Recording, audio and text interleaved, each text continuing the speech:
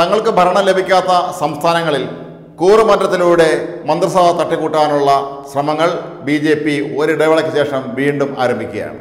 അടുത്ത ലക്ഷ്യം മഹാരാഷ്ട്രയാണ്.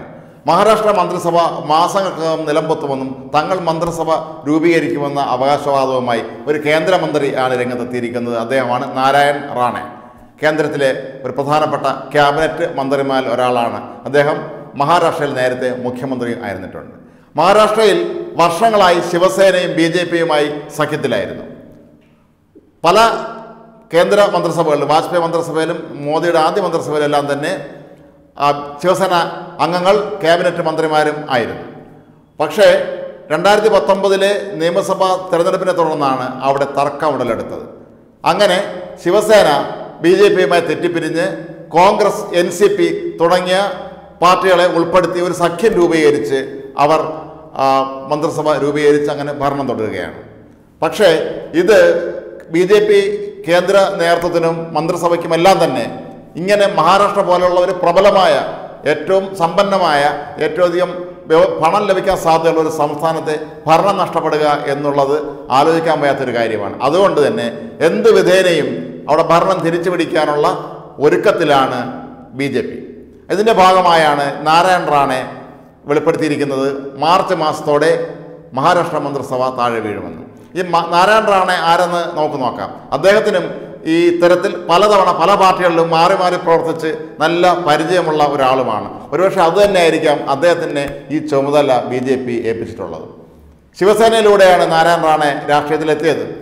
അദ്ദേഹം പല പദവികൾ കടന്ന് ഒടുവിൽ മഹാരാഷ്ട്ര മുഖ്യമന്ത്രിയായിരുന്നു. മനോഹർ ജോഷി മുഖ്യമന്ത്രി പദം ഒഴിഞ്ഞ ആ സമയത്താണ് ഇദ്ദേഹം നാരായണ റാണെ മഹാരാഷ്ട്ര മുഖ്യമന്ത്രിയായത്.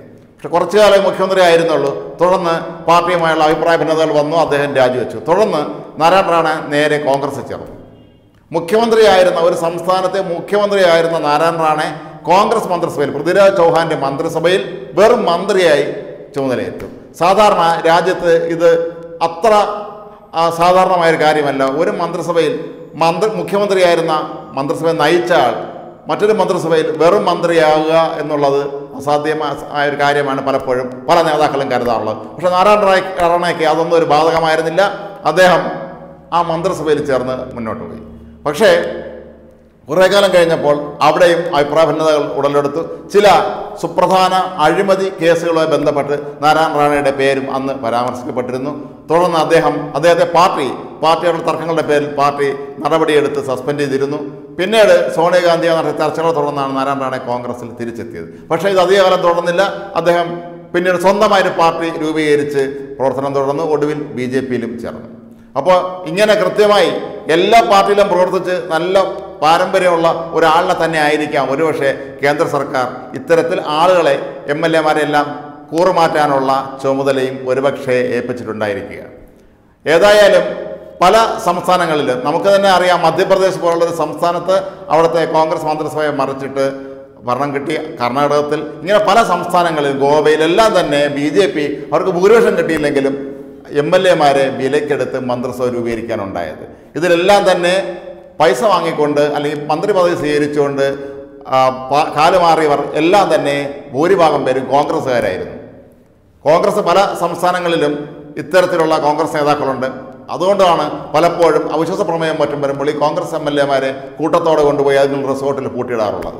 എന്തായാലും മഹാരാഷ്ട്രയിലും ഇത്തരം ഒരു പരീക്ഷണത്തിന് കേന്ദ്ര സർക്കാരും ബി ജെ പിയും ഒരുങ്ങുന്നതായി തന്നെയാണ് ഈ നാരായണ റാണയുടെ വാക്കുകളിൽ നിന്ന് നമുക്ക് മനസ്സിലാവുന്നത്. കോൺഗ്രസിന് വരുന്ന നിയമസഭാ തെരഞ്ഞെടുപ്പിൽ ഇപ്പോൾ പഞ്ചാബിൽ ഭരണമുണ്ട്. പക്ഷെ അവിടെയും പൊരിഞ്ഞ തമ്മിലടി കാരണം ഇത്തവണ തിരിച്ചു വരാൻ കഴിയുമോ എന്ന സംശയത്തിലാണ്. മഹാരാഷ്ട്രയിൽ ഒറ്റയ്ക്ക് ഭരിക്കാൻ കഴിഞ്ഞില്ലെങ്കിലും ശിവസേനയ്ക്കൊപ്പം അല്ലെങ്കിൽ എൻ സി പി പോലുള്ള മഹാരാഷ്ട്രയിലെ ഏറ്റവും പ്രബലമായ ശരത് പവാറിന്റെ നേതൃത്വത്തിലുള്ള പാർട്ടിക്ക് മഹാരാഷ്ട്രയിൽ നിർണായക സ്വാധീനമുണ്ട്. അവർക്കൊപ്പം നിന്നെങ്കിലും കുറേ സീറ്റുകളും മന്ത്രിസ്ഥാനങ്ങളുമെങ്കിലും ലഭിക്കാം.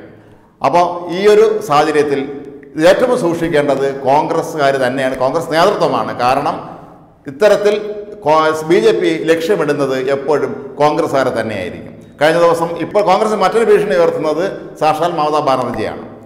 കഴിഞ്ഞ ദിവസം മേഘാലയയിൽ അവിടുത്തെ പതിനേഴ് എം എൽ എമാരാണ് ആകെ അവിടെ ഉള്ളത് കോൺഗ്രസ്സിന്. അതിൽ മുൻ മുഖ്യമന്ത്രി മുകുൾ സാങ്മ ഉൾപ്പെടെ പന്ത്രണ്ട് പേരും പാർട്ടി വിട്ട് തൃണമൂൽ കോൺഗ്രസ് ചേർന്നു.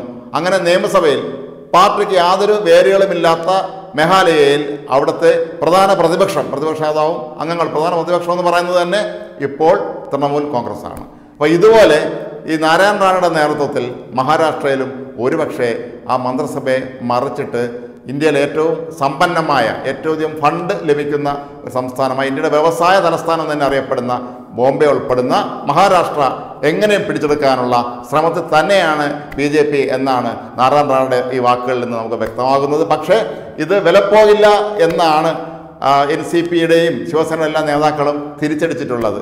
ഏതായാലും അവരും ഇനിയുള്ള ദിവസങ്ങളിൽ വളരെ കരുതലോടെയായിരിക്കും മുന്നോട്ട് നീങ്ങുക.